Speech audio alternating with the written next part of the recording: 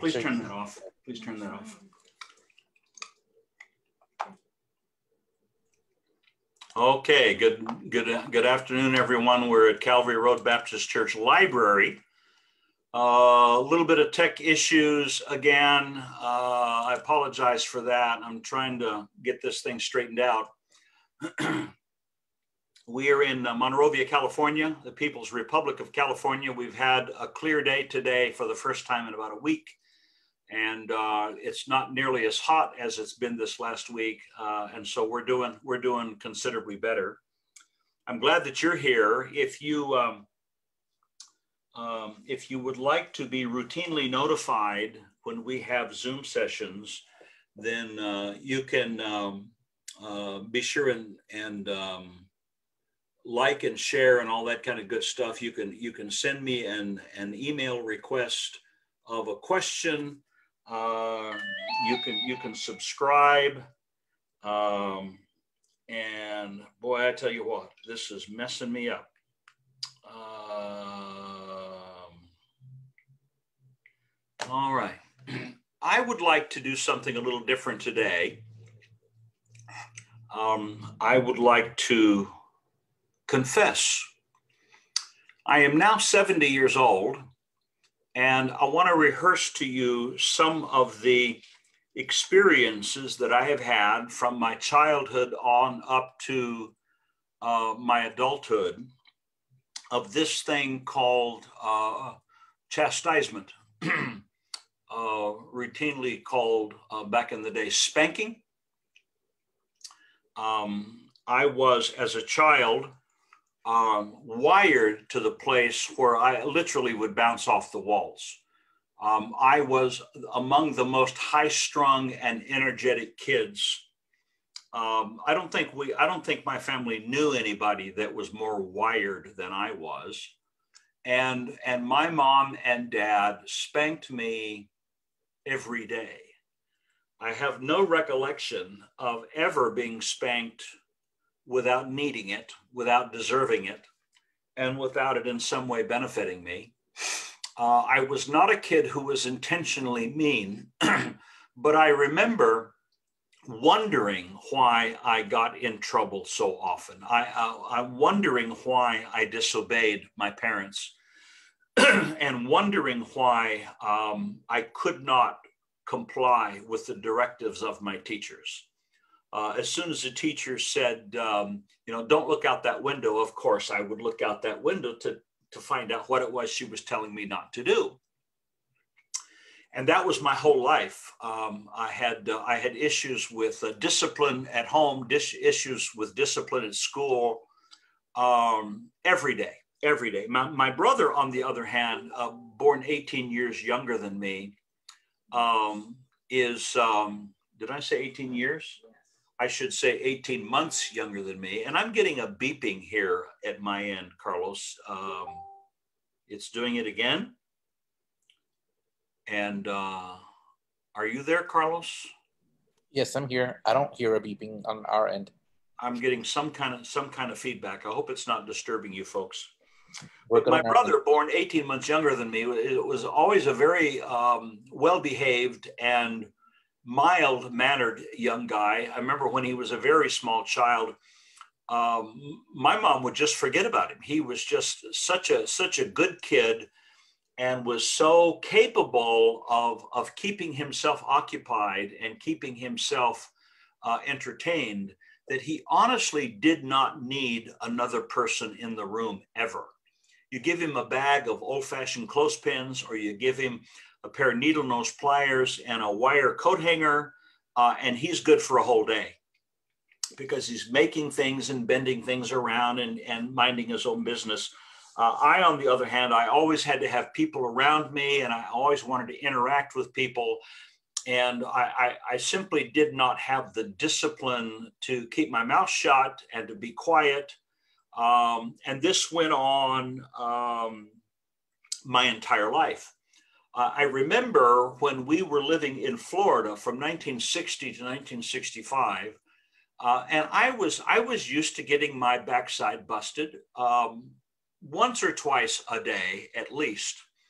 Um, and and uh, I never felt grieved. I never felt that I was being treated unjustly. I, I was always aware that the spankings that I received was for misconduct of some kind. It was later on in life I would realize that the two biblical criteria for uh, parents disciplining a child are for disobedience, that is to say, rebellion, uh, and and foolishness.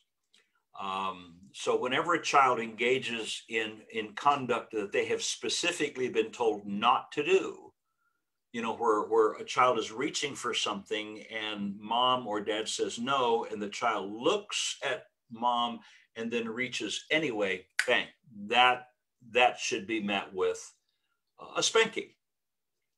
On the other hand, uh, sometimes because parents can't tell kids not to do everything, but sometimes kids just do things that are foolish, and uh, and and they need a they need a whack on the backside for that. And the child will look to mom or dad. Well, you never told me not to, and the appropriate response from a mom or a dad is is, is son.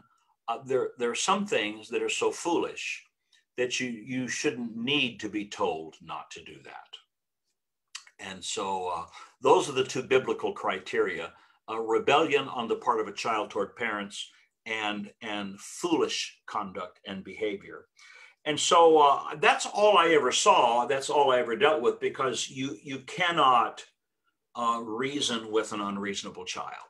Uh, so many parents these days, they, they really try very hard in their naive and dysfunctional approach to parenting. They try to reason with an unreasonable child. Now, think about that. You cannot reason with an unreasonable child. Um, and so, um, you know, God knows what he's doing, and God knew this, and you, you can't reason uh, with, with an unreasonable child. And, and so I was one of these kids that you could never reason with because I was unreasonable. I, I was simply um, uh, physiologically out of control. My metabolism was such that I was incapable of controlling myself. And, um, but I, I, received a lesson when we were living in Florida because across the street from me, there was a boy uh, a couple of years older than me. He was a big athletic kid. I liked him an awful lot. And uh, uh, he was like, I think about two years older than me. He had a, he had a sister that was younger than me and and his mom and dad uh, employed something in dealing with him that I had never seen before. It would not have worked with me. Maybe my parents attempted to employ this approach with me, uh, but because I was not uh, a youngster that this would work on, um, they may have tried it a couple of times without me realizing. But uh, when Ernie would do something that was inappropriate or uh, contrary to his parents' will. And I, and I saw basically his mother, and I, I was there in the home a couple of times when his mother would say, Ernie, did you, you know, do such and such? And he'd say, Yes, mom, I did. And she would say something like, um, Ernie, do you recall I told you not to do that? And he would say, Yes, ma'am, you told me not to do that. And then she would look at him and say, Ernie, that's disappointing. Um, I've come to feel that I can expect better from you. And so that's really disappointing to me. And Ernie was such a tender-hearted young man. And I think he's probably, you know, 12 or 13 at the time. I was I was like 10 at the time and, and was tenderhearted enough that when his mother would appeal to him and, and reason with him, he, his, his conscience was not seared like mine was, uh, that it would break his heart, it would melt him, and, and, and the tears would course down his cheeks. And, and I looked at Ernie, and, and he was a big, tough, athletic guy, and he was nobody's sissy, he was nobody's wimp, nobody messed with Ernie. But I thought, you know, what a loser basically, I, I, I was arrogant toward a guy who was a better person than I was. Um, I was operating with a, a seared conscience. I was really hard, really callous very difficult to deal with. Uh, not because I wanted to be mean, but because I was kind of thick in the head and not very wise, you know, quite a foolish kid. And the only thing that would uh, influence my conduct was pain. Uh, the only thing that would cause me to take pause was uh, when somebody, when my mom or dad would, would set my tail on fire. Uh, when uh, when nobody nobody got through to me by reasoning with me because I was unreasonable. But but Ernie was a guy that his parents didn't need to resort to spanking him because he was a tender young man. And so they dealt with him. So when parents have a child who can be talked to, then obviously you talk to the child who can be talked to. You reason with the child who can be reasoned with, and you correct them and you coach them and you instruct them uh, and bring them to a place of sorrow for their rebellion or their or their folly. Um, and you can see the physical evidence. There, there, there will be tears. If, on the other hand, you're dealing with someone like me, um, you employ the means that God provided for parents um, to bring the child to, to the closest approximation of repentance that is possible, short of conversion to Christ. So, what do you do with a child who is sinning? And excuse me, but rebelling against your parents, doing what they tell you not to, and not doing what they tell you to do, that's called sinning uh, and when you do things that are just crazy, just nuts, I remember Lonnie used to stick things in the electric socket and get jolted. That's just foolish. Uh, and rightly so, his parents would would uh, would uh, would spank him, make you know, spank him to tears. And uh, uh, but with someone like me, it, it, required it required a good spanking. Now the Bible um, cautions parents against a child who's clever. Uh, you know, there's some kids that when you correct them and you and you give them a swat, and as soon as it hits their backside of once, they'll just and they'll they'll and they'll act out like uh, like it really hurts and they're really sorry. The bible specifically says let not thy soul spare for his crying. In other words um, you give to the child what the child needs regardless of the reaction that they are generating to get you to stop. Um, uh, some some kids as soon as mom uh, swats them one time, they immediately start wailing and crying like they're brokenhearted and like and like they're experiencing great pain. And oh, mommy, I won't do it again. And parents naively allow their children to get away with that play acting, and they haven't corrected the child at all. So parents have to exercise real wisdom. So, as I say, I was one of these kids that got spanked once or twice a day um, I wasn't a mean kid. I wasn't cruel with anybody. Uh, but but I, I, I was I, looking back on it. I was physiologically incapable of obedience. And then along about, uh, I, it was 13 years of age. I turned 13. We're now living in Oregon. And my dad made the statement to me. He says, son, you're 13 years of age now. You're too old to spank. And so I'm not going to spank you anymore. And I thought at the time that my dad said that, that what he said was erroneous. Uh, I did not agree with him that because I had turned 13, uh, I should therefore be immune from spanking. I thought he, I thought he was wrong. I thought he was mistaken. I didn't say anything, but I remember the thought running through my mind: uh, my dad has just made a mistake. Um, he has overestimated me. He thinks that just because I've reached a certain age, that certain tools that God has made available to parents should no longer be employed when dealing with me. Now, we weren't a Christian home. I wasn't thinking about God, but I do recall in my mind thinking, my dad has just made a mistake.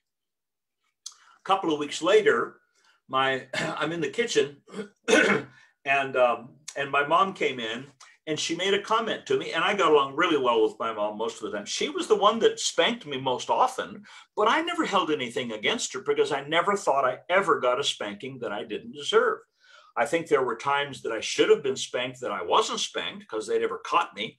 Uh, but I never recall uh, believing or thinking that my parents were too hard on me. Uh, so my mom gave me a caution about something. And I turned to her, I think I was eating a snack or something. I turned to her, I said, Well, you know, I'm 13 now, and uh, dad says I'm too old to spank. And she she's probably as far away from me as the camera is. And without so much as a hesitation, she reached up and smacked me right across the face. And you know, I'm I'm a couple of inches taller than her by this time, and she, man, she whacks me right across the face, and it was. Did she hurt me? No. Uh, did she harm me? No. Did she surprise me? Oh yeah. Oh yeah. She slapped me good, and my face was burning from where she had smacked me. And she said, I'm your mother. And uh, I remember years later, I, I, brought that to her attention. She has no memory of it. but I, will remember it until the day I die because I think it was exactly the appropriate thing, uh, exactly the appropriate timing to deal with an insolent son who was giving his mother a little bit of back talk, and she wasn't going to put up with it and so um, uh, those were my experiences as as a lad before I came to Christ. Uh, advanced several years in 1974, um, the Lord saved me, and um, uh, about oh my goodness, about a year and a half after that, uh, Pam and I got married, and we're coming up on now our 45th wedding anniversary. and uh, we went off to Bible college, prepared for the ministry, responded to the call to the ministry. Um, and um, uh, then after after um, graduating from Bible college and then going to graduate school for a year, I uh, was asked by my pastor if I wanted to go preach at a certain place, and I said sure. And he said, uh, and he gave it to me uh, the the contact information, and um, and then he said, oh, by the way, John, uh, you're going to want to be careful. And I said, why? He said, um, I hear tell it's a woman run church. Okay. So my wife and I drove to Brawley, California, and I preached at the church there uh, Sunday morning and Sunday night. And sure enough, it was a woman run church. Uh, there were uh, two or three women that controlled everything uh, because the guys let them. And uh, Uh, they asked me if I would come back a week later. Um, and so I came back a week later. The church called me unanimously to become their pastor. And a couple of weeks after that, I became the pastor and, and conducted the first service. And on a Sunday morning, uh, during the Sunday school hour, I showed up and um, there was a woman there and um, I had met her before, but I had no idea what she was doing. And uh, I, I, stood and walked to the front of the auditorium, and she's standing there, and she said, um, uh, "I said, what, what are you, what are you doing?" And she said, um, "I'm getting ready to teach the adult Bible class." And I said, um, "Why are you doing that?" And she said, "Well." there are no men here who will do it. And I said, Well, there's a man here now. And she went and sat down, and I think that was the last service that she ever attended. Well, anyway, it was it was during my pastorate in Brawley, California, that our church started a Christian school.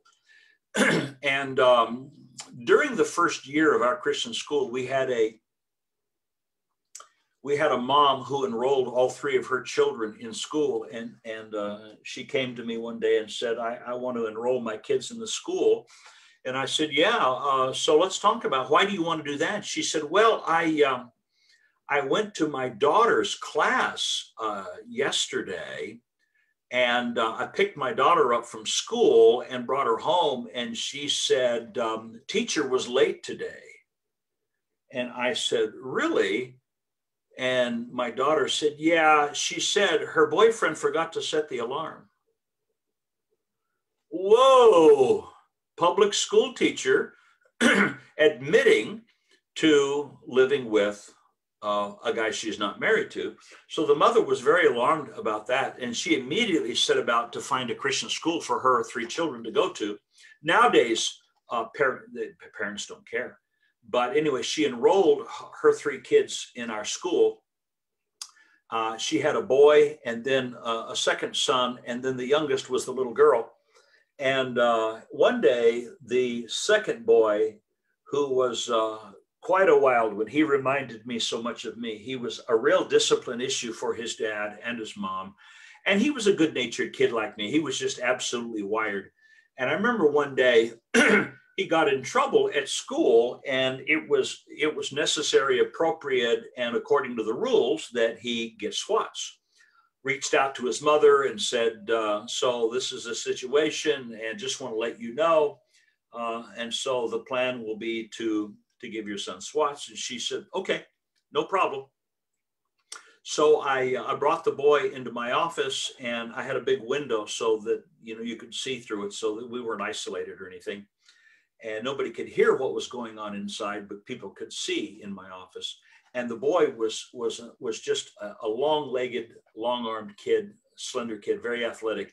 And he wasn't going to let anybody spank him. And um, and I said, well, I, you know, I'm, uh, I said, David, I'm, I'm not going to wrestle with you.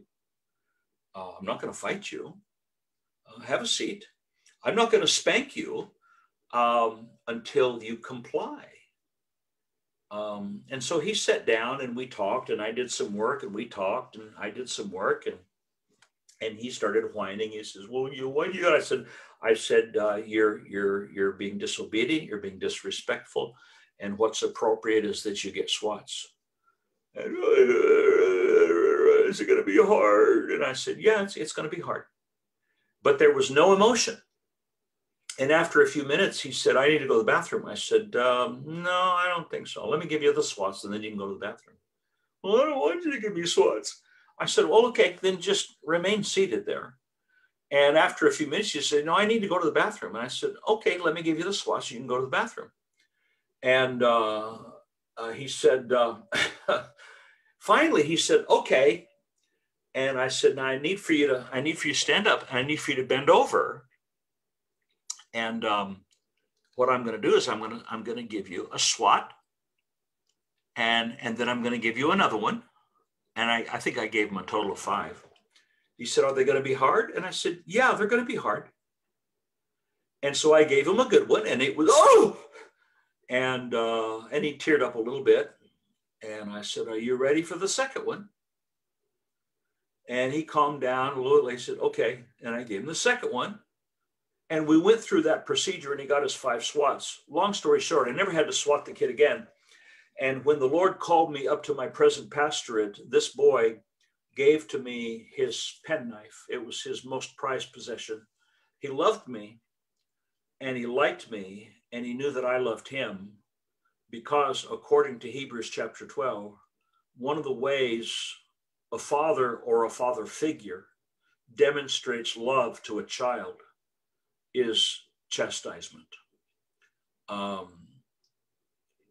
it's, a, it's a reinforcement of love between an authority figure, a parental authority figure type, um, and a child. And so to this day, uh, we're Facebook friends and we get along great. And uh, I love him and uh, he loves me and he likes me. So I came up here to, um, to where I currently am pastoring in Monrovia, California. I'm uh, coming up on 35 years. And I remember the very first day that I was sitting in this office and I got a I got a knock on my door, and uh, the knock was by the biggest um, kid in the school. He was a senior, very athletic. I have absolutely no doubt that the guy could have played Division One football. He was a tremendous athlete, really big guy, very, very fast. This kid was a stud. And uh, he was the deacon's son. And uh, so he came in and uh, he said, uh, Pastor, I said, yes. He said, I'm so and so. He introduced himself to me and he said, uh, "You're supposed to give me swats. Here's the paper." And I looked at it, swats, and uh, he said, "And here's the paddle." and I said, Well, I won't be needing that. And I reached into the drawer of my desk and I pulled out one of these. Now, this is a 15 inch long Schedule 40 PVC pipe. It weighs less than one ounce.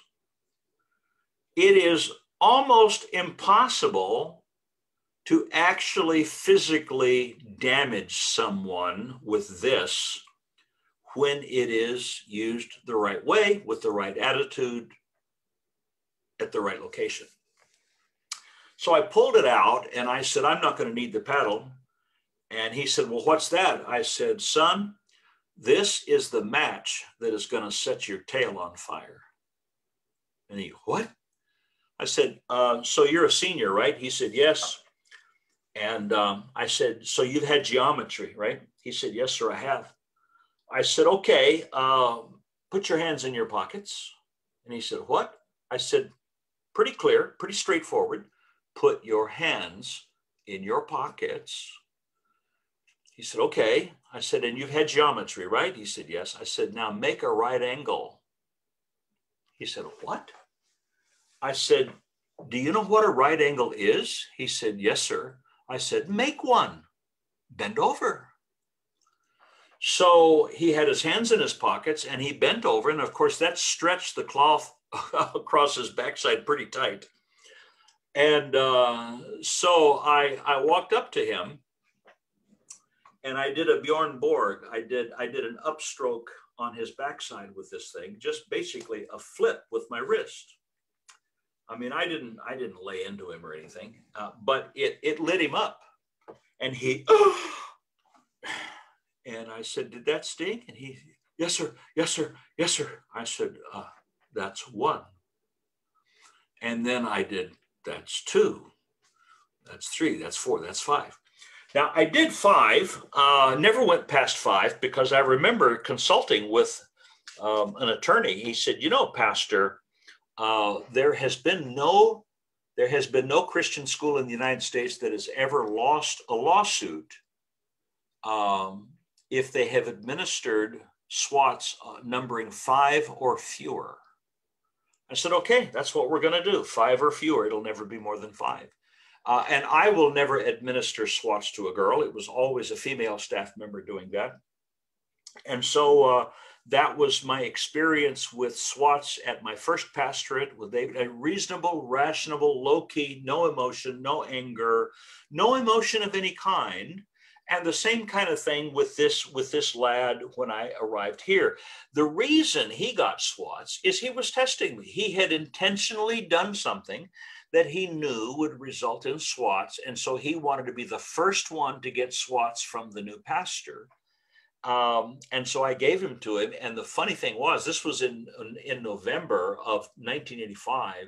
There was not a single boy came to my office the rest of the school year in need of SWATs because the word had gotten around. Yeah, this, this, this, uh, this stings.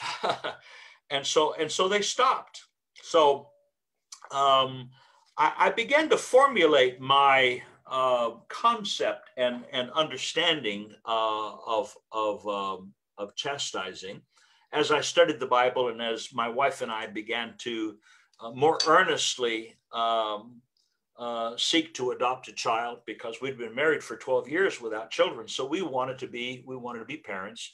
And so we studied it and, and we learned and we, and we prayed real hard and uh, God brought a guy into our life who introduced us to someone who introduced us to someone. Long story short, we we adopted our daughter, and uh, uh, and so at this point, I, I want to confess to you something that I did um, that was was uh, and these things that I did 30 plus years ago are probably thought by some law enforcement agencies to be assault on a child. Um, and I'm sure that if you don't believe in God and you assume that children are not given to parents by God to raise in the nurture and the admonition of the Lord, then of course parents have no authority to administer discipline. But if you believe the Bible and you believe that God authorizes parents to raise children in the nurture and the admonition of the Lord.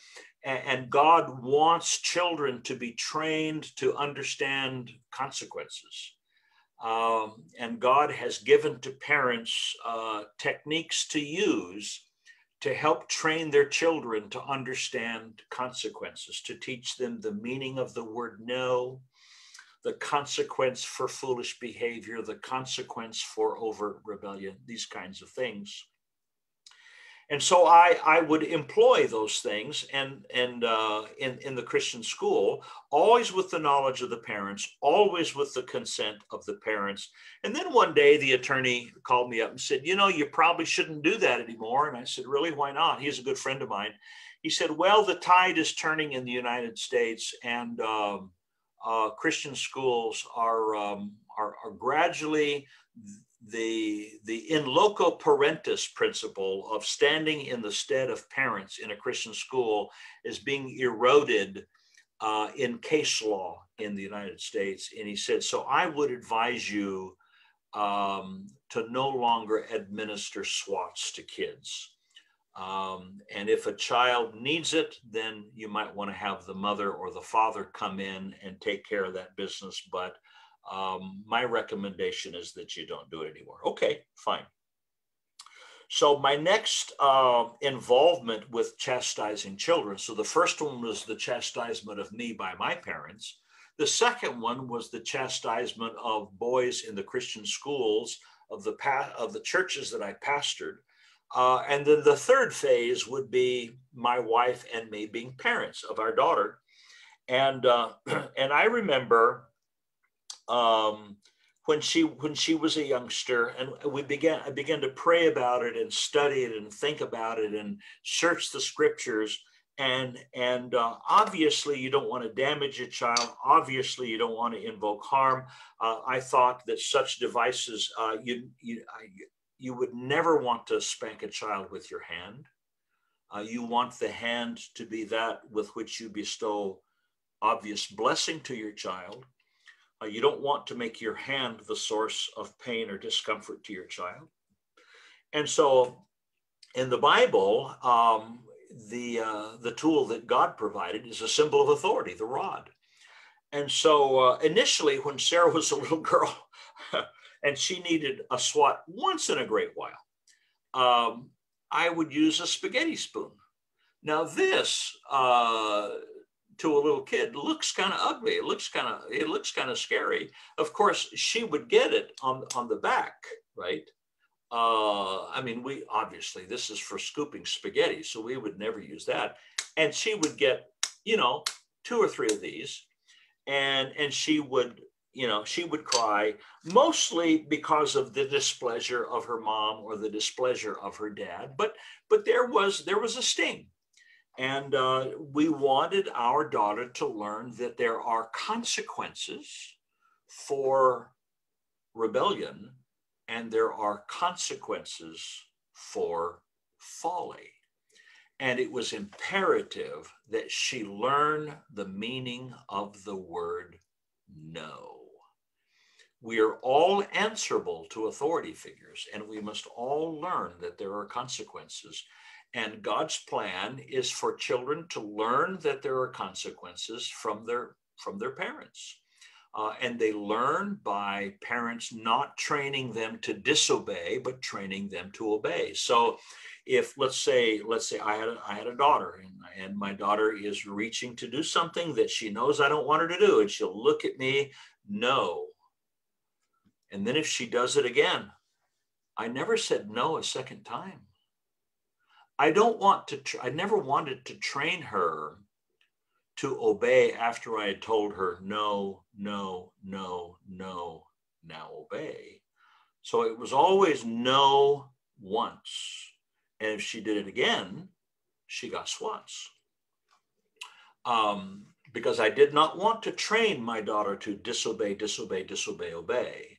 And that's what so many parents do when they have their escalating intensity of no, no, no, I'm warning you. No, no, don't do that. Because whenever a parent is angry or agitated with their child, um, that is absolutely proof positive that they've waited too long to administer correction. You don't you don't wait until you get mad to correct your child.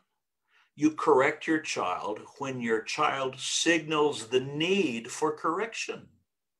So, how does a child signal the need for correction? They disobey. The other way a child signals the need for correction is when they do something foolish. So, uh, uh, uh, swats to a child should never be administered by a parent who's angry or a parent who gets angry, because anger is an absolute guarantee that the mom or the dad have waited too long. And what they're what they end up doing is training their child to disobey, disobey, disobey, obey. No, no, no. You want your child to learn how to obey. And this is what I did, you know, three decades ago. Haven't done this in a long, long, long, long, long time, but I felt it appropriate today to acknowledge what I did back in the day when doing this was understood in our culture and it was always understood in the Bible, and it is still understood to be okay in the Bible. Though, if a neighbor finds out, or if somebody at the grocery store sees you correcting your child, oh my goodness, you're liable to get arrested. Uh, it's a terrible state that we find ourselves in in the United States of America. So, this is what I would do when my when my daughter got old enough. Um, I would say I would say to her, um, "Go get the rod," and she would immediately start tearing up, and I'd say, "Go get it." And especially when you're dealing with a kid that's really active and really energetic, this would especially apply to boys, is that you make the process of correcting the child go very, very, very slowly. This is what I would, this is what I used to do. I would never advise parents on what they should do nowadays because all the dangers and threats from the law. But back in the day when I used to do this, I would just slow the process down and make it go very, very, very slow. And so, and of course, it's worse for a boy because they want to get this over with and get back outside and play and do it. So to slow things down is is wow, it's very difficult, very challenging for them to deal with. So my daughter would go get this. I I don't think a parent should ever go get this. You send the child to go get this, and and uh, if the child hides this, you have another one. But anyway, um, the child goes and gets it and brings it back and i would i would sit down with with my daughter and i would say now you know what you did wrong? And she would i said so tell me what did you do wrong? Tell daddy what you did. And i wanted her to articulate as best she could precisely what it was that she had done wrong and daddy told you not to do that, correct? But you did what daddy told you not to do, correct? Said, so daddy, because I love you, because I like you, and because I want you to learn to be obedient, uh, daddy is going to swat you. And of course, she would start tearing up. And then I would have her bend over and I would give her one of these on the backside. Oh, one or two or three or you know, however many. It would it would never exceed five. And obviously, when I was when I was dealing with the boys, I always gave it to the boys harder because they were bigger, stronger, um, tougher uh, than than I would ever uh, correct my daughter. But uh, she would cry, and um, and and then she would turn and i would embrace her and i would hug her and i'd tell her how much daddy loves her. And i would pray for her that god would bless her and that she would improve in her ability to obey. Now why is this important? Because what god wants from people is repentance. He wants us to repent of our sins but an unsaved child is not capable of repenting of sins. And so the correction that is administered by dad, the correction that is administered by mom, is the closest thing to repentance that you can bring a child short of conversion to Christ. And so, if you want a child who does not have a seared conscience, this was my motivation back in the day. I did not want my daughter to have a seared conscience. Um, I, I, did not want my daughter to be hard hearted. I wanted her to be tender. I wanted her to be kind. I wanted her to be obedient. And I recognized she was a different person than I was. She was much more tender hearted than I ever was.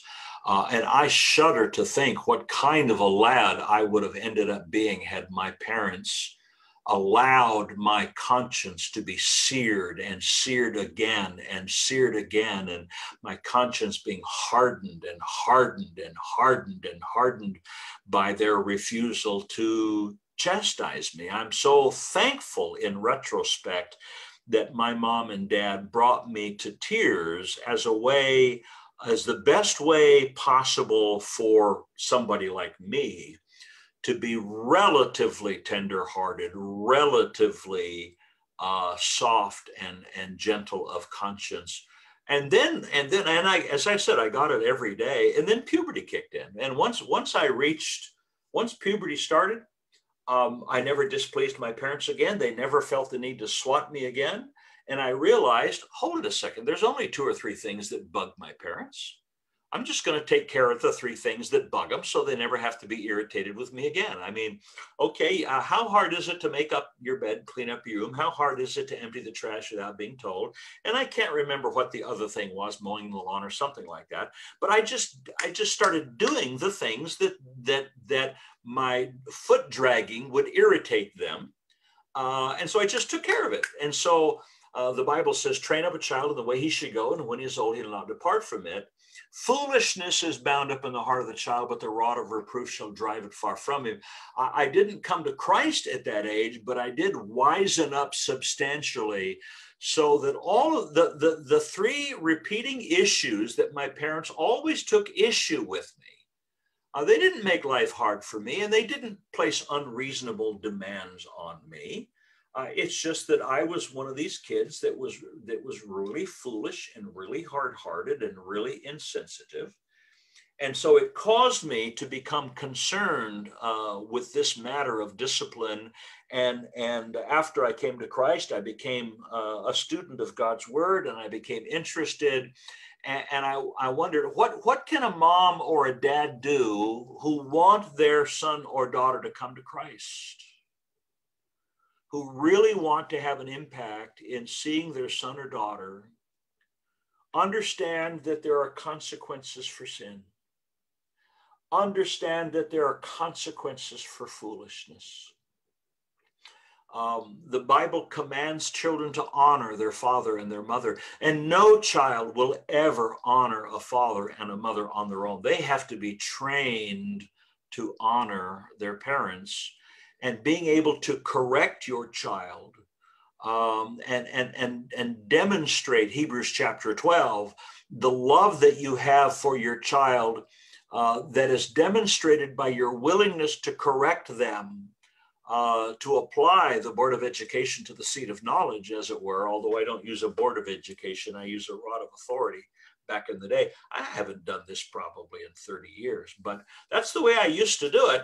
And so um, um, I, I, find that nowadays um, um, the authorities are so eager to find fault with right doing and so eager to overlook wrongdoing that parents have to be wise they have to be very discreet and i found a whole generation of parents uh, they they completely misunderstand what parenting is all about we have some we have some very wonderful people in our church, and one of them is a is a first grade teacher.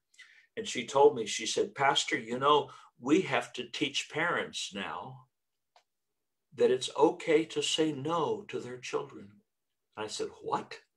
She said, Yes, we're finding with each new class of, of kids who enroll in first grade that the mothers actually believe that their role as a mother is to facilitate the desires of their child. And we have to teach the moms it's okay to say no. That means there are kids that reach the age of five or six or seven and they don't know the meaning of the word no. They think that the adults in their orbit exist to facilitate them. That makes them, that, that, that raises a group of children with a sense of entitlement.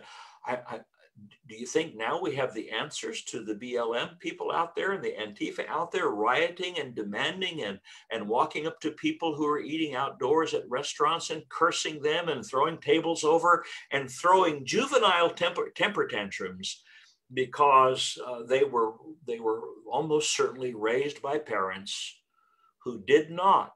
And, and you got to do it by the time they reach the age of five. After that, I'm sorry, it's too late. Um, teaching their children the meaning of the word no. And so that's my that's my confession for today. That's how I did it. I I, I always used a rod because it's very very light. Um, I don't know that it ever left a mark on on my daughter. Of course, I didn't um, I, I, I, I, didn't lean into her or anything. Uh, I wanted the spankings to sting her, not to harm her. Um, and, and chastisement is not something you do to a child, it's something you do for a child. And, and it is God who knows children better than anyone and understands that there needs to be a means whereby a mom or a father, with loving kindness and tenderness, but with the determination to do right, they need to see that child come as close to repentance as possible in the days before the child is converted to Christ. And the means that God has provided to correct children and bring them to a place approximating repentance is the rod of correction, the rod of reproof to spank the child. And always without anger. If you if you're mad, you waited too long. You waited way too long. And then after the swats, you lay the rod down, you take the child into your arms, you embrace the child. Um, and and you pray and you let the child know all is good between me and you now. N- nothing for which i have just swatted you will ever be raised against you again.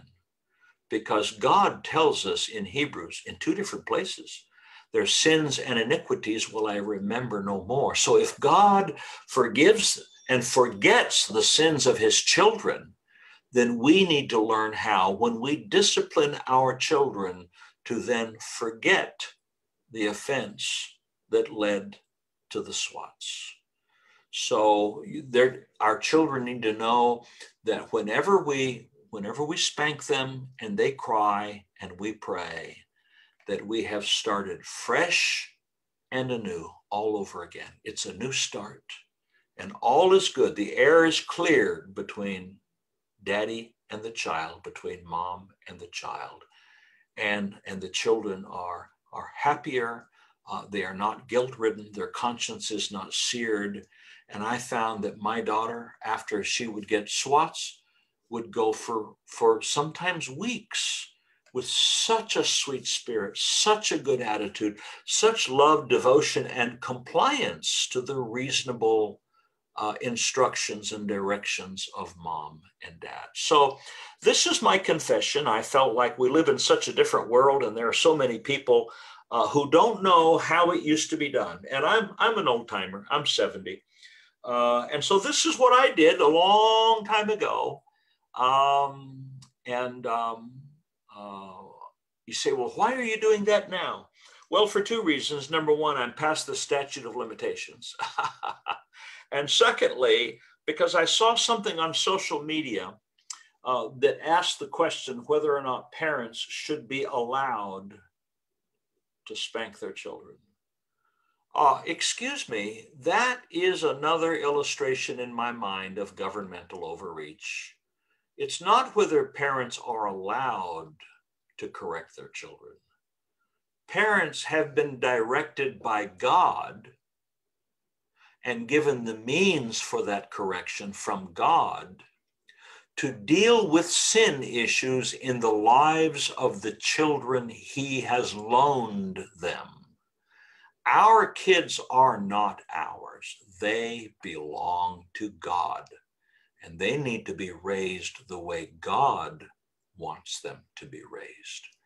Thank you for tuning in. I hope this has been a blessing to you. Remember, this happened a long time ago. So uh, understand um, this is the way I used to do it back in the day.